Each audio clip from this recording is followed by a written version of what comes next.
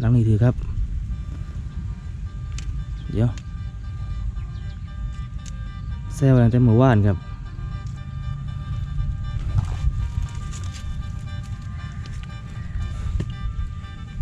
โอ้โอ้โอ้นี่ในต้มมันครับเอาโมเมนต์ใต้เข้าหูเดี๋ยววันนี้โอ้ใต้เข้าหูดีเดียวเลยโอ้ยอะ ใต้ข้าหูเลยอู้คนไหนยี่ครับพี่ ครับ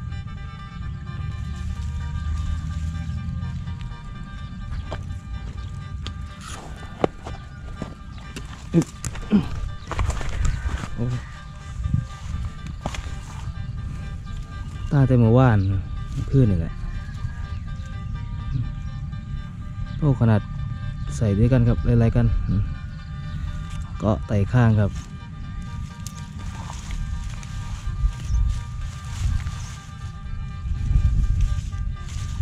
ใส่อะไรกันครับ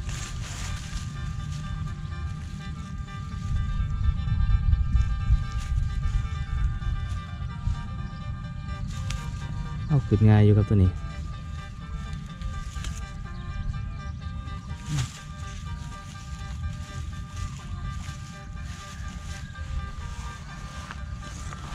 หนึ่งหลังหนึงครับใส่สองหลังติดติดกันครับบ่กินครับหลังนั้นแต่ว่ามากินหูผีนะครับหูเย็นหลังนี้บ่กิน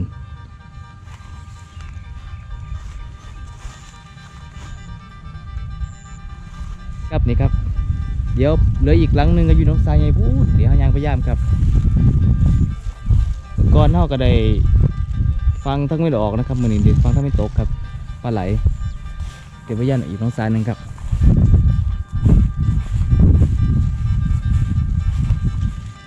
หลังนี้บ่ถือครับ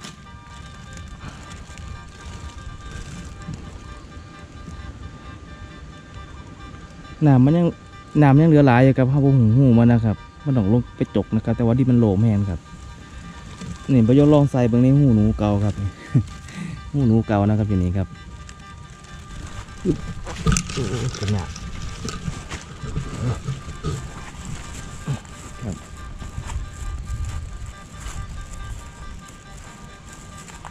สรุปครับบางเดือ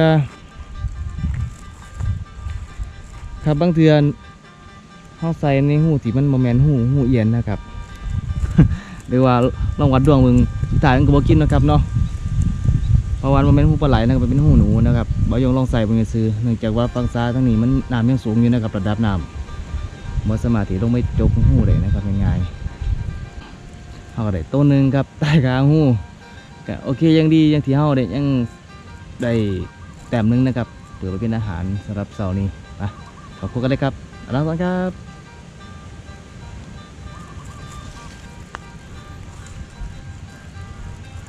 บ่กินสำลังไส่เยียนในหน้องสาที่มีหากใหม่ไม่จะเป็นสีกับต้นมากครับไมันจะไปเกี่ยวลงใส่นะครับ เกี่ยวตายเลยเรียบร้อย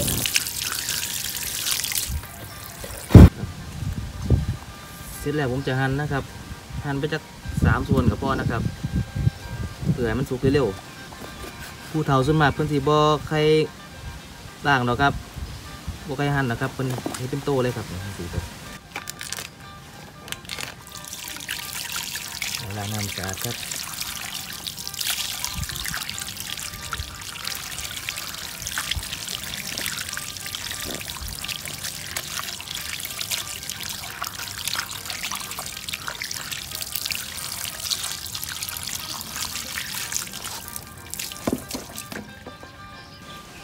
ครับนี่คือเมนูเด็ดสำหรับมือเขานะครับต้มเป็ดปลาไหลได้ครับพี่น้อง มาเด้อมากินกันครับ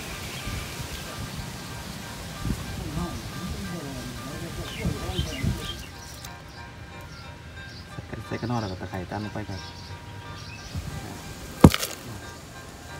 ตัวที่ตัวหอมตามลงไป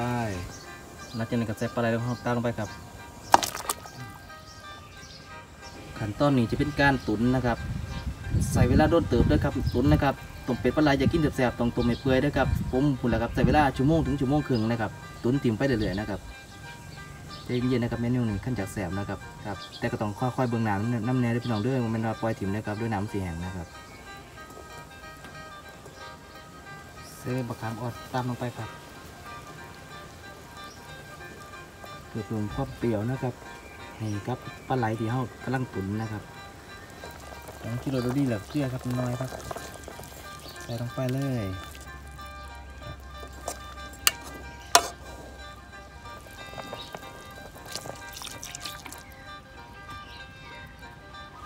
นี่ครับครับเป็นตัวไทยครับใส่ลงไปเลยครับ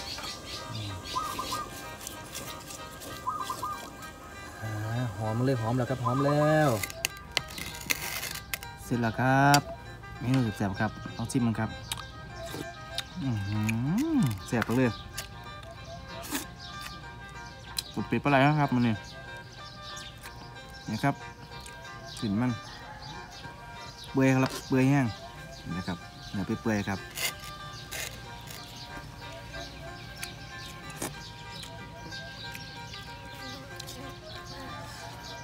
เมนูอีสานบานๆเท่ากับเฮ็ดกินบ่ยากครับง่ายๆ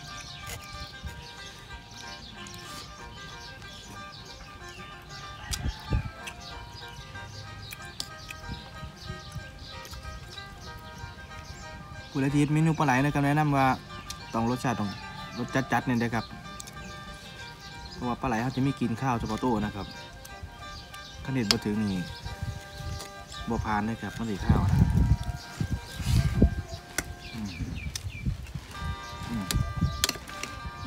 จับครับบ่เหม็นกุ้ยนะครับบ่มที่ระเปื่อย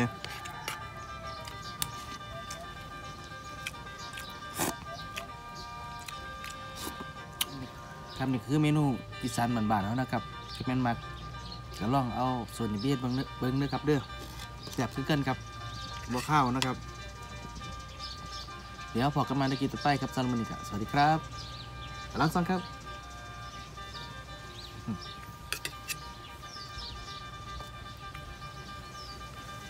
ที่น้ำต้มอ้อยมาหลายบทครับ เมื่อ